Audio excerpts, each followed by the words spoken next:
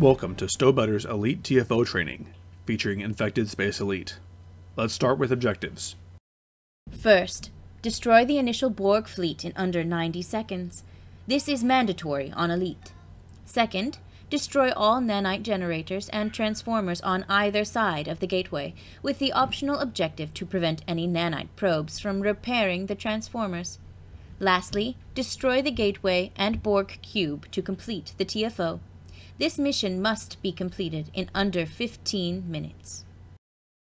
Thank you. On to risks and rewards. This TFO requires moderate coordination to play well on Elite, with all optionals and without team deaths. It is possible to complete in a public group, but usually a tank is needed for a deathless run. The enemy threat level is moderately high, as Borg drain shields and deal a decent amount of damage, and there are many Borg ships. In particular, the Gateway fight can be a test of your survivability. For rewards, this TFO awards a moderate amount of Omega or Fleet Marks, along with a chance of Enchained Current Pieces. Lastly, this operation can be very short with a well-built team composition at under 2 minutes, which is one of the reasons that this TFO is used for DPS benchmark testing. The adversaries on this operation are Borg. Borg vessels, at the sphere rank and higher, have a powerful shield drain ability, so encounters with them need to account for a low shield uptime. If flown properly, there will be nearly 20 Borg vessels and two Dreadnought class enemies in a single location once the second transformer is destroyed, so a high volume of damage should be expected at the gateway fight. For this operation, we will speak broadly for general completion, as well as some tactics for achieving higher DPS on benchmark runs. Very high-end specific strategies are not covered here and would deserve their own video. If you are coordinating with a team for DPS runs, you will want to have a tank. If your primary DPS is above 300k without support, a dedicated support build would also help boost the primary DPS.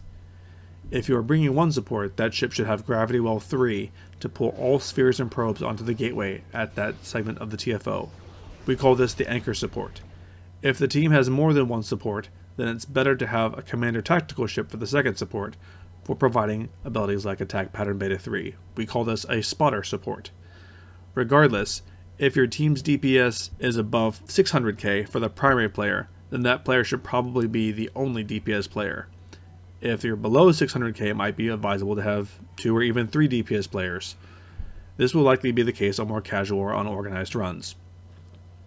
Regardless of chasing DPS or not, this TFO has four fights. The first encounter, left transformer, right transformer, and then the gate and cube. Teams should generally move in that order unless coordinated otherwise. Because the team is heading to the left transformer first, attack the central cube, then the right assimilator, then the left assimilator to ensure you're in optimal position to move to the left transformer as quickly as possible once the last ship goes down. Avoid pulling nanite probes onto the transformers if possible. Large gravity wells with high control expertise or other pull effects should be reserved for the first fight and the gateway to avoid attracting the probes and spheres from the gateway while fighting at the transformers. Once the first transformer is down, move as quickly as possible to the right transformer. Fighting in the middle instead of bypassing the ships there is a mistake, especially if pursuing higher DPS as it leads to longer combat time. Flanking positions for the transformers and gateways are not intuitive. At the start of the map, your ship is already at the flanking angle for all the Borg structures. Do not move to what is the, considered the back of the structure from your starting position's perspective in an attempt to flank it. Now, combat footage will be shown to illustrate the principles discussed previously. The goal of this section is not to illustrate perfect piloting, but provide an example of how to successfully complete the map, with all objectives and without dying. Exotic builds are well suited to this map, though the highest end DPS chasers for this type prefer Hive Onslaught instead due to higher enemy hit points and a concentration of enemies in the opening fight. Note that in this video, the previous version of this map with cubes instead of assimilators is shown and a tactical cube at the end, for all practical purposes, this was a cosmetic change only and has no bearing on the tactics. If you are using restorative particle focusers, you will want to pre-charge them with heals before the mission begins. In the initial fight, target the central cube, then the right assimilator, then the left one, using your gravity well on the central cube. Most of your anomalies and console actives should be used here as well, if you are using the Micro Dark Matter Anomaly, avoid using it here, as it has a severe penalty against shielded targets unless you can rely on your team to bring the shields down reliably. Leaving when the last target is at 10% health or lower but not quite destroyed is ideal as your damage over time abilities should finish it while you transition to the next stage. Once the initial fleet is destroyed, activate a speed boost like evasive maneuvers and fly to the left transformer. As you approach, target and inflict some damage on the assimilator above the transformer, then switch to the transformer itself. You will want to position directly in front of it between 2 and 4 kilometers away. Too close and you risk destroying yourself with destructible high yield torpedoes provided by concentrate firepower. If you're too far, you won't be able to use certain point blank area of effect abilities.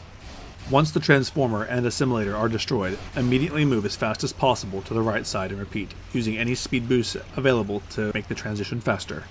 Leave any probes or spheres behind and ignore the ones in the middle. Position similarly on the right transformer, attacking the assimilator first, then switching to the transformer until both are destroyed. Once all structures and the assimilator on the right side are destroyed, turn and engage the gateway, using any speed boosts available to approach it faster. At the gateway, use quantum singularity manipulation to dramatically increase your science stats, and apply your second gravity well, along with every ability in your arsenal. This should pull all the probes and spheres into a single concentrated area, which is ideal for exotic damage. Once the gateway is destroyed, turn and engage the cube at the end.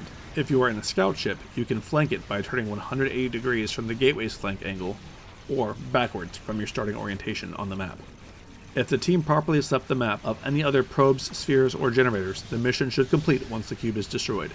Your maximum strength gravity well at the gateway will go a long way to ensuring that the run is clean and ends when the cube is destroyed.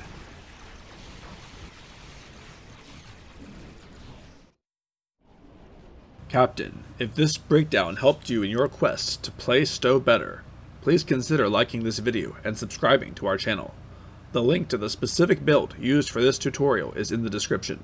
For more guides and builds, check us out at www.stobetter.com.